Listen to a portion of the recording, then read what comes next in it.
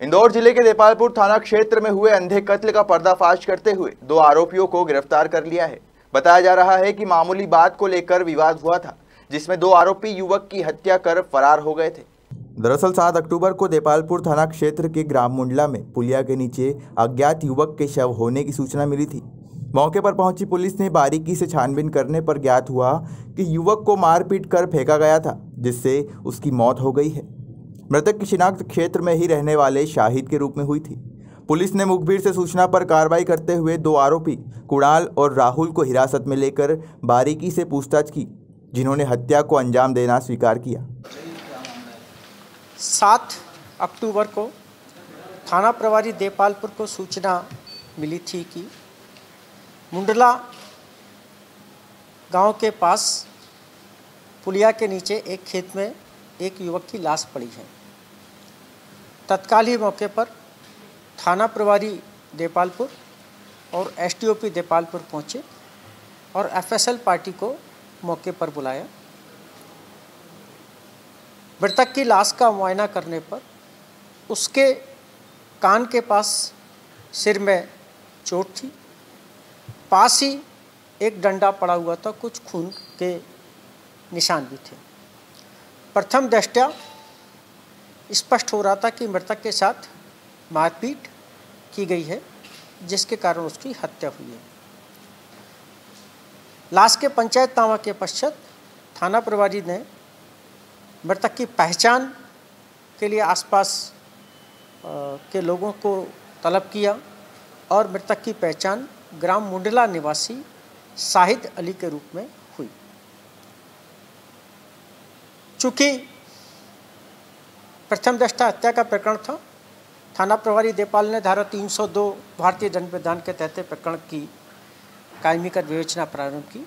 एक अंधी हत्या का प्रकरण था, जिसकी पतारसी हेतु थाना प्रभारी देपालपुर और एसटीओपी देपालपुर के संयुक्त नेतृत्व में एक टीम बनाई गई थी और इन्होंने लगातार तीन दिन की मेहनत के पश्चात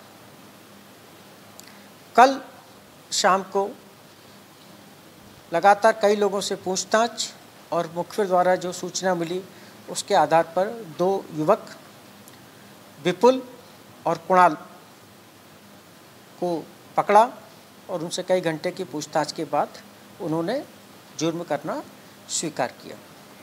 आरोपियान ने जो घटनाक्रम बताया, वो इस प्रकार है कि कुछ दिन पूर्व कुणाल के साथ में मृतक साहिद का विवाद हुआ था। मृतक वहड़िया गाँव तक घूमने आता था। तो एक बार उन्होंने उसको बोला कि भाई तू इतना घूमता रहता है, तूने अपना कोरोना का टेस्ट कराया क्या? और इसी भी बात पर शाहिद ने कुणाल के साथ में गाली गलौच कर विवाद किया था। छः तारीख की रात को मृतक इन दोनों को अकेला दिखा।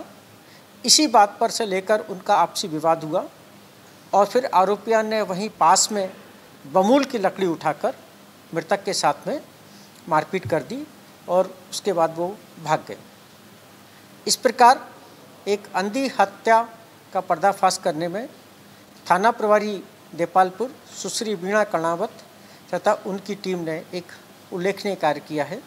इसको पूरी टीम को पाँच हज़ार रुपये के नगद इनाम से पुरस्कृत किया जा रहा है।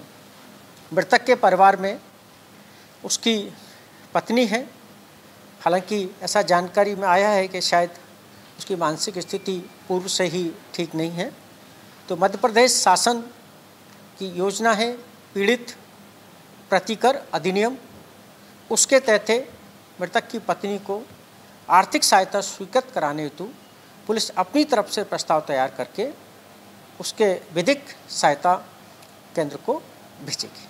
उम्मीद है जब भी मीटिंग होगी, हम मृतक की पत्नी को आर्थिक सहायता इस अधिनियम के तहत, पीड़ित प्रतिकर अधिनियम के तहत स्वीकृत कराएँगे। फ़िलहाल आरोपियों से पूछताछ में सामने आया है कि इसके पूर्व भी आरोपियों का मृतक युवक से विवाद हुआ था, जिसकी खुन्नस के चलते उन्होंने हत्याकांड को अंजाम दिया। इंदौर से रजत जायसवाल की रिपोर्ट।